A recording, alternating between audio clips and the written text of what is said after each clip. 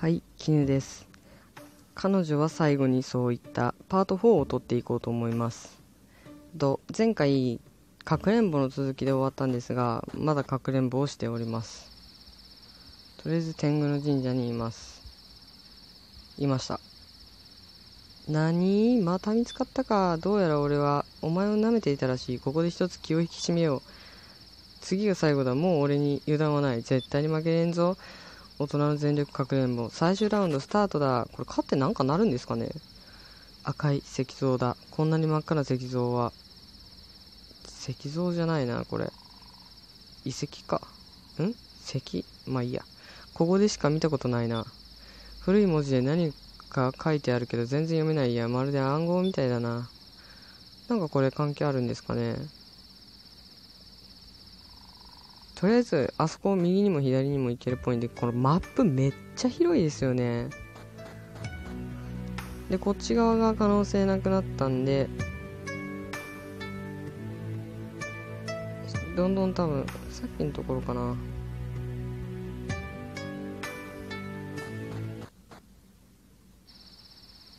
泉の方かな。なんだこれ。あいた。うわーまあまあまあまた見つかったか全力を出した大人に勝つとお前はなんてすごいやつなお前見たところまだ子供のようにも見えるがもしかしたら無限の可能性を持っている子供かは一番すごいのかもしれんな俺の負けだいい勝負だった付き合ってくれてありがとうよああ実績解除されましたこれだけなんですかね今日のバスの運行はもう終わりでよ村を出たいなら歩いていくしかないけど時間がかかるしもう暗くて危ないからやめた方がいいと思うよいや僕に今そっちに用はないんで今中学校に行きたいんですよ。なんか大人のかくれんぼに邪魔されてちょっとできな行けなかったですけど今からその目的地に向かっております。ここですね。はい進めない。あ進めた。広い校庭が広い無駄に広い。入れるのかな？あここですね。番号。メモっておいてよかった。もう頭から飛んでました。連取りなのに頭から飛ぶと。3928これ OK だと思います。はい。あいた。お入れましたね。懐かしいな。ここで何か思い出せればいいんだけど。校内には金色に光る記憶のかけらが落ちています。記憶のかけらを拾うことで慎太郎は過去の出来事を思い出すことができます。校内を探索して記憶のかけらを見つけましょう。おー、ここも多分マップが広いんだろうな。多分落ちてる感じですよね。とりあえずなんか、こういう障害物を開けれるところが今のところ一個もないんで、あ、これだ。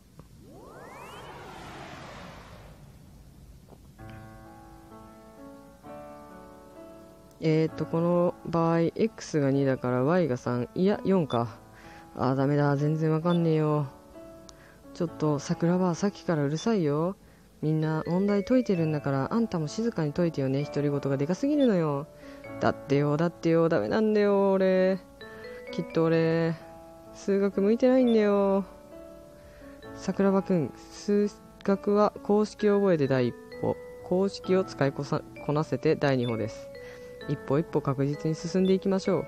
そうは言うけど先生俺数学苦手なんですもん。数学の羅列を見てるだけで頭がドカーンと爆発しそうになりますよ。まあまあそう言わずに今の桜庭くんの頑張りはきっとこの先役に立ちます。勉強はこれから羽ばたいていく皆さんの可能性を広げてくれるものですからね。可能性ったって数学の公式なんて一体この先何の役に立つんですか？うんそうですね。じゃあ桜庭くん幅10センチの平均台をイメージしてみてください。え？平均台？そうです。桜庭くんは今、幅10センチの平均台を渡ろうとしています。この幅10センチが桜庭くんの人生の可能性です。踏み外せばすぐに落ちてしまう。極端に幅が狭いわけですから、余裕も全くありませんよね。しかしこの幅を簡単に広げる方法があります。それが勉強なんです。知らなかったことを知ればまた新たな疑問を発見できる高度な物事もわかるようになる。単純に高い学歴を持っていれば就職にも有利です。可能性がどんどん広がっていく。勉強は成功を勝ち取る剣であり自分を守る盾にもなってくれるそういうものだと思います。おおおお勉強すげえ。先生俺公式覚えます。うわ燃えてきたはははそれはよかった。あまり無茶しすぎないように休憩しながらやりましょうね。まったく桜庭のやつ調子いいんだから。ふふ桜庭くんらしいわね。よし。私たちもやろっか。みやこどこまで終わった？全部。全部？もう全部終わったの？うん終わった。小説読みながら待っているね。えー、えー、ちょっと待ってよ。やばいやばいななみ。私たちも急ごう。あごめん。私も終わっちゃった。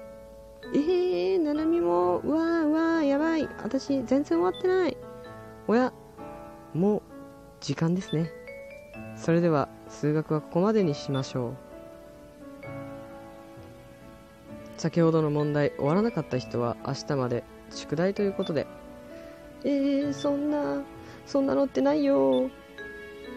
うー桜庭なんかと同レベルなんて嫌だよ。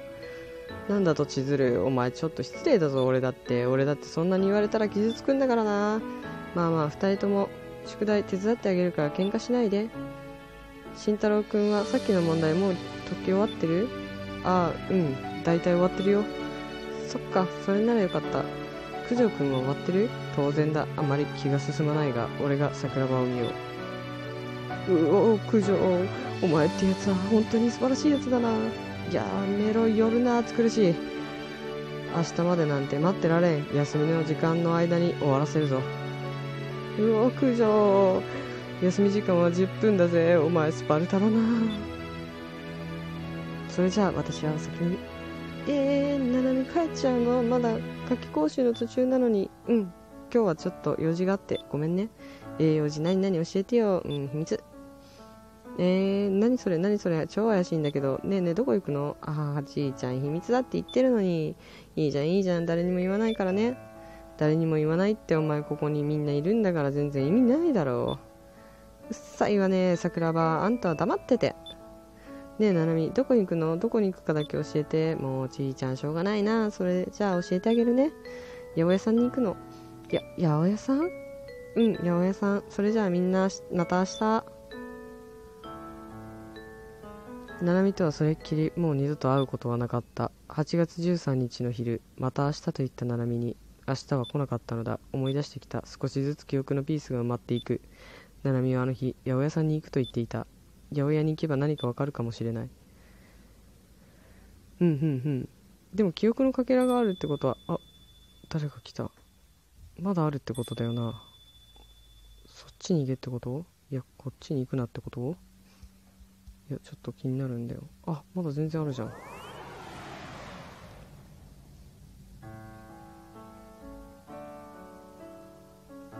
あれ？ななみ？何飲んで読んでるの？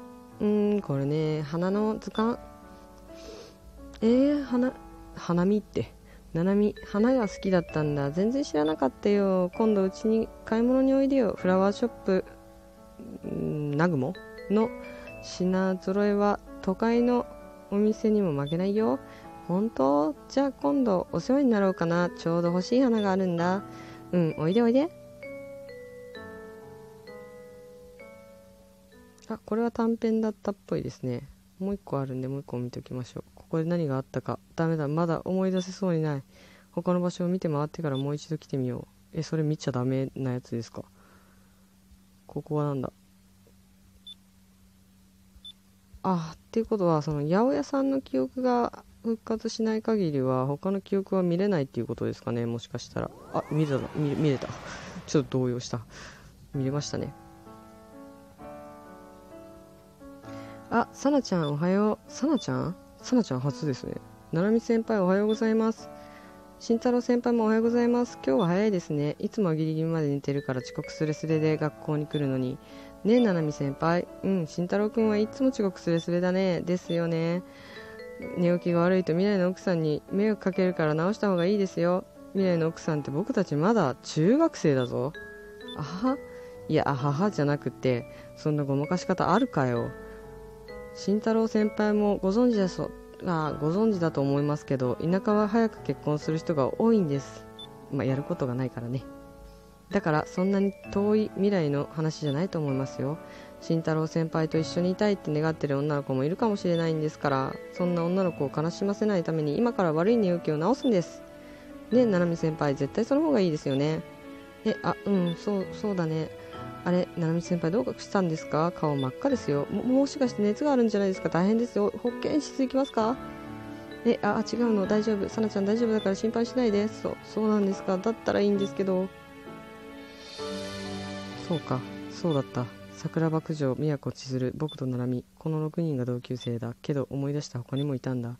僕たち同級生6人以外にも松酔中学校の生徒が。さなちゃん前泉さなかは2つ下の後輩だ。松酔中学校が廃校になって他の中学校に転校したんだろうけどまだこの村に住んでいるのか？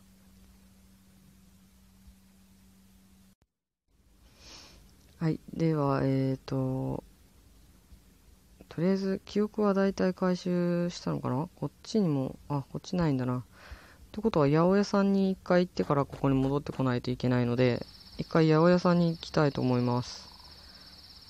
えまだ何かここで思い出せないことがある気がするえ？嘘だあ誰だ？えー、下駄の鼻を切れちゃったよ。そんなバナナ、バナナ、バナナ。えー、そんなバナナ。あ、思い出発見。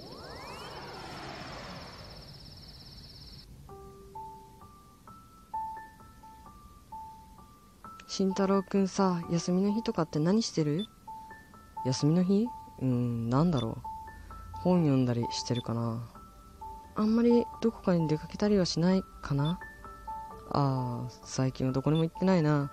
行きたいなと思うんだけど一人で行ってもつまんないしね。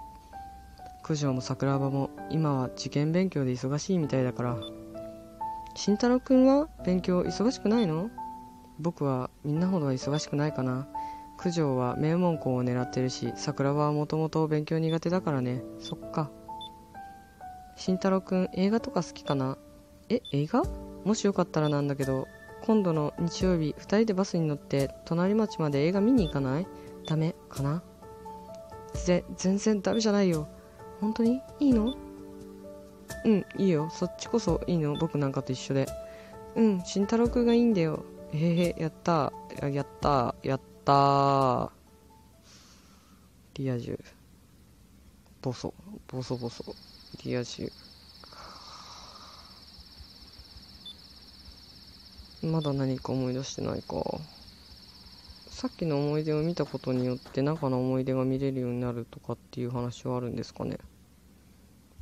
とこっちだったかな。あれ？なくなってる？上か？こっちだったっけ？あこれか。あ見れるようになってる。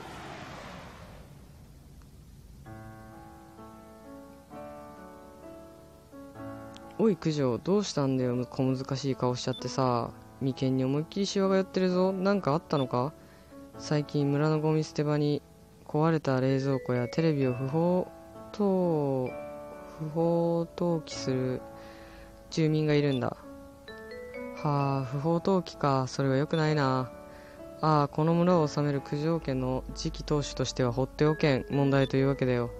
じゃあ俺が不法投棄してるやつをぶっ飛ばしに切ってぶっ飛ばしてきてやりましょうか？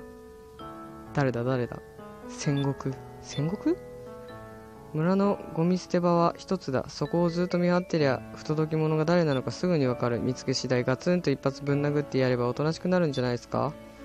ぶん殴るというのは感心しないな。暴力では何も解決しない。そうっすかね。一度痛い目見ないとわかんないやつもいますよ。それに俺曲がったことが嫌いなんすよ。ルール破って隠れてこそこそゴミ捨てるやつなんざ。卑怯じゃないすか？だからといって殴ることはないだろう。他にもいろいろ方法はある。へえどんな方法っすか？まあ罰金を課すとか制御のために防犯カメラを設置するとかだな。そんなまだまだるっこしいこと本気でやるつもりなんすか？ルールを破るやつに合わせて余計な手間増やしてたんじゃそんいくら時間あっても足らないっすよ。九条さんは村を治める九条家の次期当主なんすから他にやることがあるはずっす。ではどうしろと言うんだ？防犯カメラなんかいらないですよ。俺が一人で見張ればいい。お前がなんでお前がそこまで？決まってるじゃないですか。俺この村が好きなんすよ。だからこの村守りたいんす。あの君が好きだというやつだと思いました。ただそれだけっす。本当かな？思い出した。さなちゃんの他にももう一人いた。松酔中学校の生徒。戦国。戦国拓磨は一つ下の後輩だ。昔村を守りたいと言っていたけれどまだこの村に住んでいるのか？よし。反対側もあったよな。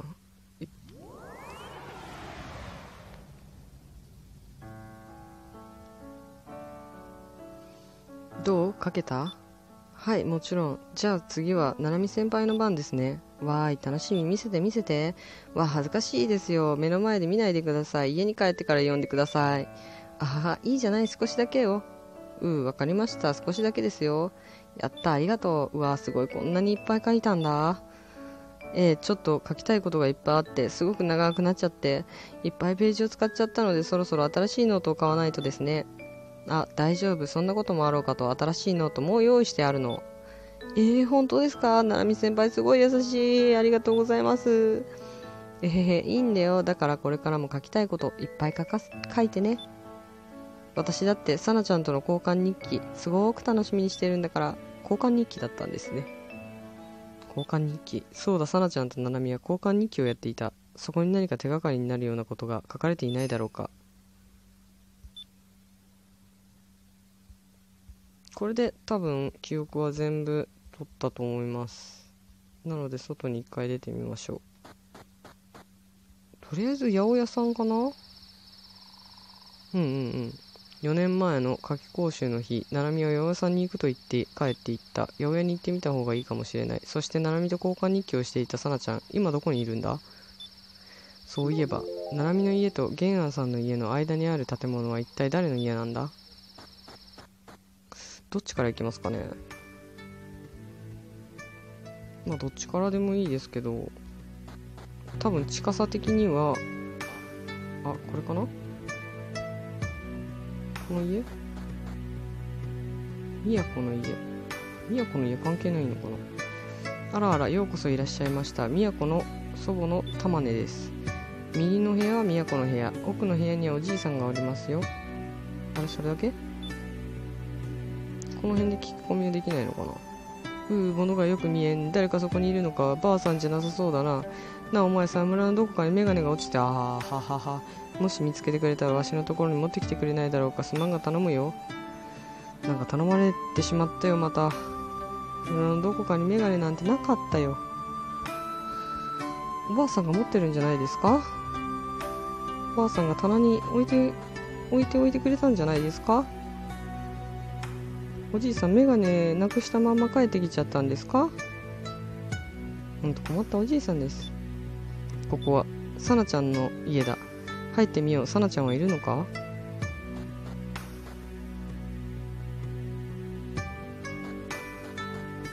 多分2階ですよね。あ誰かいる。さなちゃん。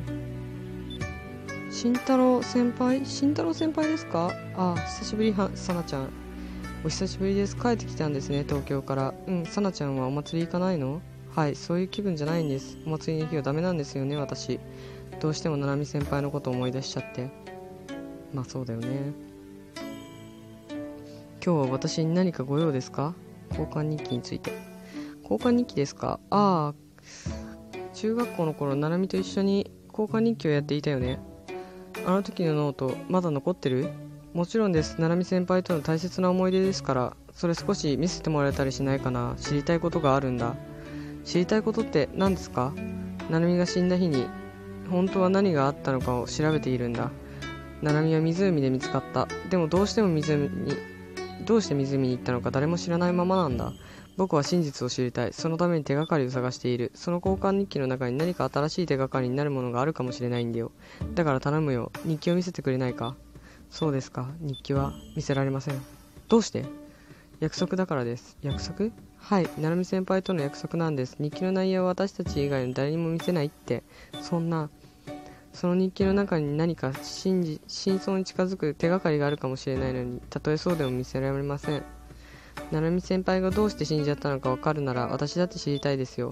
でも七海先輩との約束は破りたくないんです。だって七海先輩と最後にした約束なんですもん。